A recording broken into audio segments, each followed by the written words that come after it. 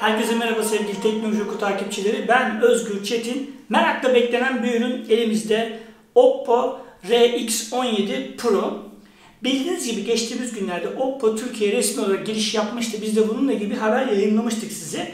Birçok Çinli markanın olduğu gibi Oppo da artık Türkiye'de faaliyetlerine başlayacak. Hatta bu en sonuna doğru 30 Ocak'ta bir basın toplantısı da düzenleyecekler. Oraya da gidip sizlere e, firmanın gelecek planlarıyla ilgili bilgileri aktaracağız. Onun öncesinde sağ olsunlar bize test için bir tane RX17 Pro modelini gönderdiler. Sıfır kutulu bir üründe olduğu için her zaman yaptığımız gibi bir kutu açılımı yapalım dedik. Şöyle kutuyu açalım. Biraz büyük bir kutusu var bu arada bakın. İşte bir elimizin parmağı böyle şöyle bir karış gösteriyorum. Şöyle yakın çekim yapayım. Bir karış büyüklüğünde bayağı devasa bir e, kutusu var.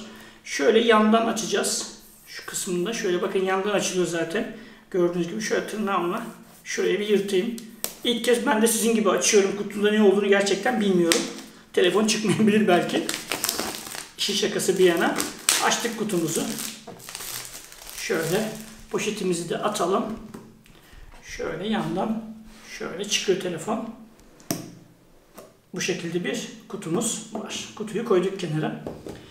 Telefonu birazcık e, kutudan çıkarmadan önce birazcık teknik özelliklerinden bahsedecek olursam 6.4 inçlik Full HD Plus bir ekranımız var. 19'a 9 ekran oranı. Enteresan da bir oranı varmış bu telefonumuzun. Snapdragon 710 işlemcimiz var. Yeni nesil orta seviye işlemci biliyorsunuz bu.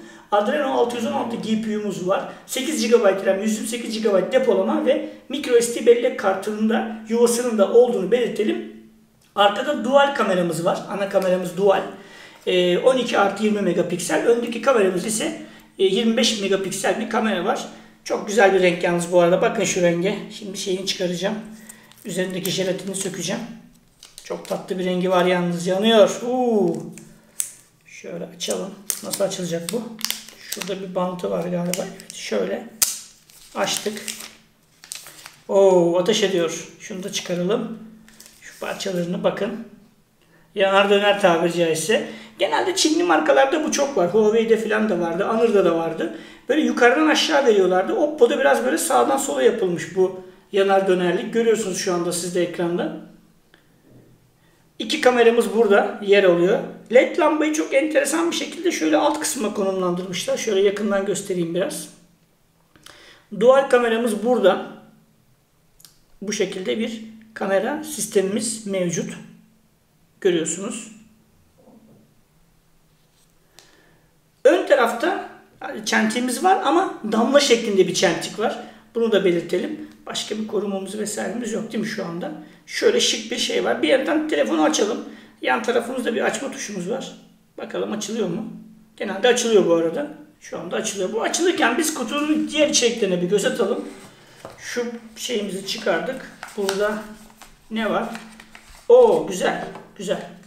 Yumuşak plastik kılıf var burada. Bu görüyorsunuz. Şöyle göstereyim. Bu arada te telefonda açılmış oldu. Yumuşak bir silikon kılıf çıkıyor kutudan. Şöyle göstereyim ben size. Hops ekranı kapattık. Buradan dili seçiyoruz. Türkçeyi seçelim mesela. Sizinle beraber yapayım ben de. Türkçe dedik. İleri dedik. Türkiye'yi seçelim. İleri dedik. Buraya atlayalım. Wi-Fi'yi şimdilik açmamıza gerek yok. Tamam diyoruz buralara. Kabul ediyoruz kullanıcı sözleşmeleri. Kullanıcı diyelim. Hayır diyelim şimdilik. Hayır teşekkürler diyoruz. Katılmak istemiyoruz. Bilmem ne bilmem ne bilmem ne. Tamam bunu kabul edelim. Zaten şeyimiz yok. Diğer diyoruz. Diğer diyoruz. Kabul ediyoruz. Parmak izi yüz tanımı var. E, bu arada ekrandan parmak izi okuma özelliği var. Atlıyoruz. Bunları şimdilik koymuyoruz. Wi-Fi asistan devam edelim. Burada yazılım güncellemeye devam edelim. Şimdi burada yeni Oppo telefonu olarak ayarla diyoruz. Hoş geldiniz diyor. Falan filan. Evet telefon açıldı şu anda. Şöyle göstereyim ben. Çentiyi görüyorsunuz. Damla su damlası şeklinde. Küçültmüşler epey. iyi olmuş bence bu. 25 megapiksellik kameramız da burada duruyor. Şu anda bir uyarı geldi. Kameraya bakalım mesela. Tamam dedik. Tabi şu an elimi çekiyor benim. Görüyorsunuz kamerayı. İlk defa bir Oppo telefon kullanıyorum ben de bu arada. Ön kameraya geçelim ve kameramanımız Ünsal'ı da kaydediyoruz şu anda. Bayağı güzel yani portre modu var, gece modu var, etiket modu var. Burada bakıyoruz şimdi hemen hızlıca bir bakış atalım. Panorama var, uzman var. Herhalde burada kendiniz ayarlarınızı kendiniz yapabiliyorsunuz. Evet birçok ayarı burada yapabiliyorsunuz. Kameraya detaylı bir şekilde değiniriz. O ayrı bir konu. Zaten şurada görüyoruz kameralarımız.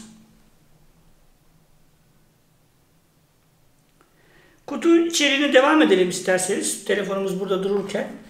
Yine büyük bir şöyle bir adaptörümüz bu şekilde tasarlanmış. Şurada USB girişimiz var. Biraz böyle iPhone modellerine benziyor. Bunu koymuş olalım. Bir de kulaklığımız var. O da böyle güzel bir kutuyla geliyor bu arada. Şöyle göstereyim onu da.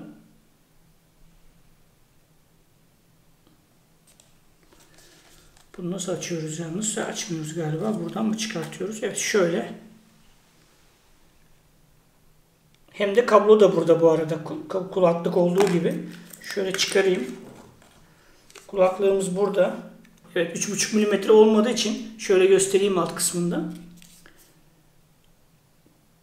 USB Type-C olduğu için kulaklık da tabi haliyle ve doğal olarak e, güç kablosu da şöyle çıkartmış olup göstermiş olayım. Şunu göstereyim.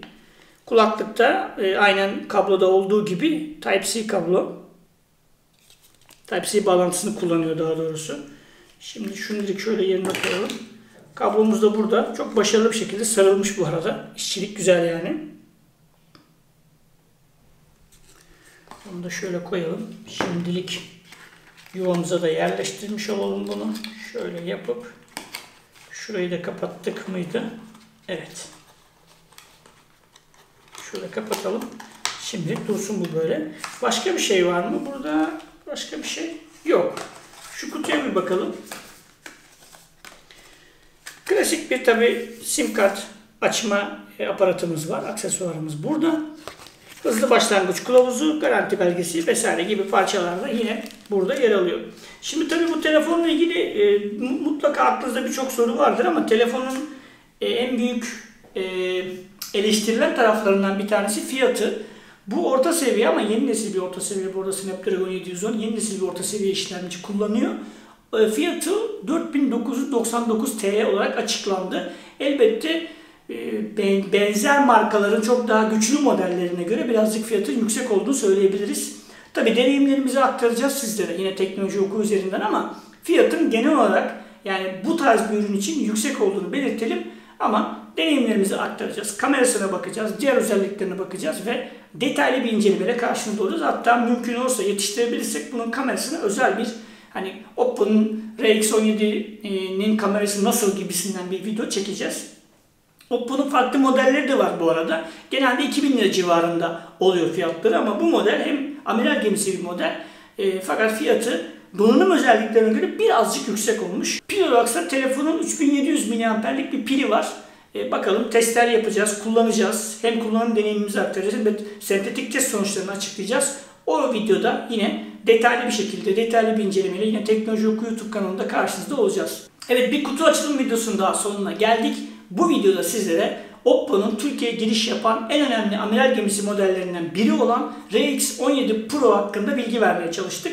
Detaylı bir inceleme de gelecek. Kanalımıza abone olmayı unutmayın. Farklı bir videoda karşınızda olmak üzere. Hoşçakalın.